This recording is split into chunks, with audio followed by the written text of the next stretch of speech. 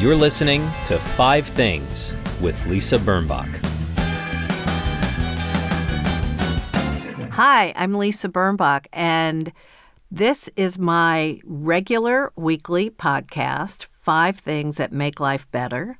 This week, there's a little difference because while you're listening to this podcast, or perhaps reading my blog at lisabirnbach.com, I will not be anywhere near you. Uh uh-uh. uh I will be doing something different and exciting.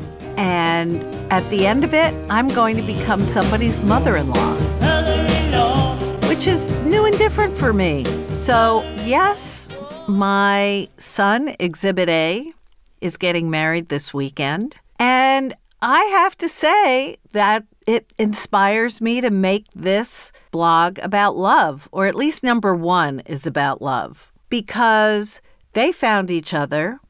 My daughter in law to be is from a small town in Alabama. My son is from Manhattan, New York. Quite different. How they ended up in each other's lives is one of those things. And they really, I think, are tremendously in love. And I vote for love every time. I will say this when my son bought the engagement ring, he was so excited about it. He was so invested in it, not just because it was the most expensive thing he'd ever bought, but the design and how she would like it and how her hand would look. And he was planning to wait and propose in a certain way at a certain place with little cues and little, uh, you know, I had a little tiny role in it. And the next thing I knew, he handed it to her or proposed to her within about a minute of bringing the ring home. And I've never seen him so happy. And she says she's never met a man who treats her so beautifully. So I'm loving the love. And that is number one of this week's five things. And I'm also loving, I have to say, my daughters, Exhibit B and C, are part of the wedding party. And they're in love with the whole operation. They're loving the sisterhood of that. They're loving being part of their brother's bride's circle. There's just love. What can I say? I think that's what's been missing from this narrative all along. I needed five things like washcloths and fresh corn, but really what we needed was love. Okay, here's number two. And there's love in it as well. I read a story about a terrific person, a 34 year old woman named Candice Payne. She's a real estate broker in Chicago. She was worried about the homeless people as the forecast for Chicago's polar vortex was going into extreme insanity. And the predictions were for minus 25 below or worse. And of course, as we know, it was worse. And what she did was she found an inexpensive motel, but a clean one, called, I believe, the Amber Inn. Let me just see if I have it in the story. Yes, the Amber Inn. And she was able to buy 30 rooms and she charged it on her credit card. She's a working class or middle class young African American woman, single, and she just decided she had to do this because she couldn't stand the thought of people freezing on the streets. Then she went to the tent city where the homeless congregate in Chicago, and she, through social media, let people know what she was doing. She got people that she didn't know to show up around the homeless encampments and help transport them to the hotel, the Amber Inn. And then people started sending money, and people started just calling the Amber Inn and paying for rooms. And before you know it, I think she had 300 people off the streets. That includes children and pregnant women. She also got restaurants to donate food. She prepared food. She prepared toiletries. People on the streets of Chicago who had not slept in a bed in God knows how long, who had not gotten the privilege of a warm bath or shower. It's an amazing story because it was one person. And as she said, I'm not rich, I'm just a simple person. But she is a simple person with a beautiful heart. So right now I'm thinking, I love Candice Payne too. I have linked the New York Times story about her onto my website. It just proves that if you have a good heart or if you have a strong desire to do something, you can do it. The governor of Illinois called Candice Payne after she rescued these people and said, You've done more for the city of Chicago than probably the city of Chicago. So let's keep her in mind. I'm so impressed with her. And that story, if nothing else, will make you feel good and make you feel hopeful about humanity.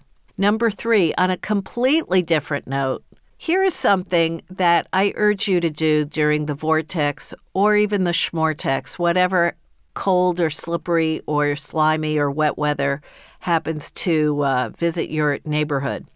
Take the shoes that you like, that you feel comfortable in. Maybe they're not new, maybe they're old, but they're good shoes, and winterize them. Go to the shoemaker and have them put rubber soles on them. I just had a pair of really thick, they look like tire tread soles put on a pair of boots.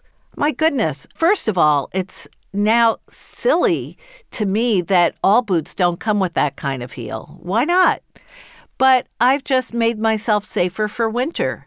There's a picture of the new thick soled. By the way, they're thick soled and rubber and they grip, but you can't see it from the top of the shoe, so they look just as dressy or not dressy. Okay, you're probably bored by now of that. Here's more love, though. Number four. You know the actor Richard E. Grant, the British actor? He's been in everything from With Withnail and I, his first film in England, to The Player, to LA Story, to The Age of Innocence. He's British. Actually, he's from Swaziland, which is in Africa. Well, I think his dad was the head of education for Swaziland. And I, I think it was Swaziland. I could have my lands mixed up, but I think so. Anyway, Richard E. Grant has just now, at age 62, and after probably 30 solid years of good work, has just been nominated for his first Oscar for Best Supporting Actor in the movie. I always forget the name of it. Can You Forgive Me with Melissa McCarthy. He's terrific in it. I don't know that he can win because it's a tough year, but no disrespect to him. Well, because it's his first and because he appreciates the honor. You know what they say it's an honor just to be nominated. He seems to be enjoying himself through this season more than anyone. And in fact, I think because he knows he probably won't win, he's enjoying it because he's not stressed out, I think. But he's loving it. Every picture, every award show, every luncheon pre award show there is his big smiling face. And often he plays a bad guy or a dark guy or a weird guy, as he does in Can You Ever Forgive Me? And I'm just loving his enjoyment of it and his appreciation of it.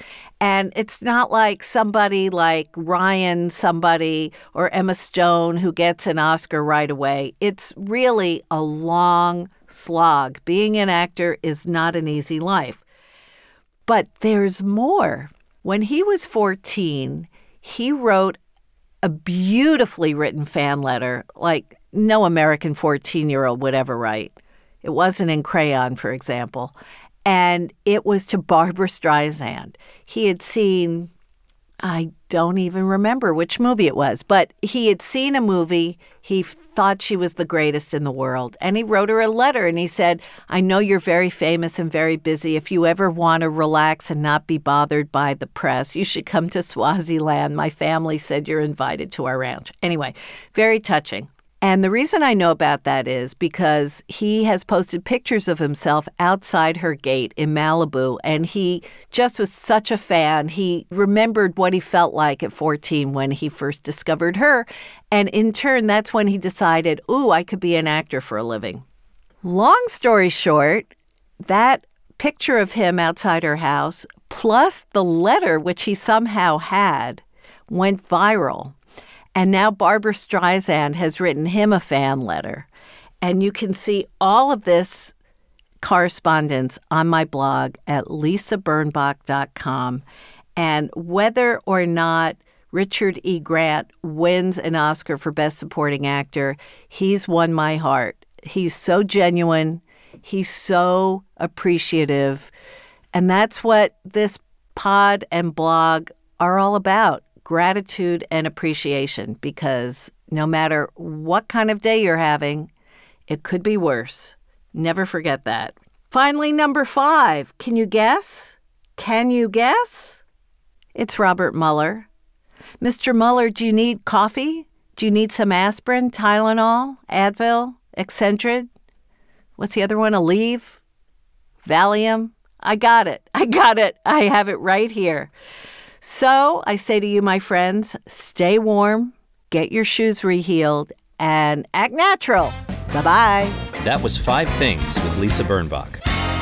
New episodes every Friday, if she remembers.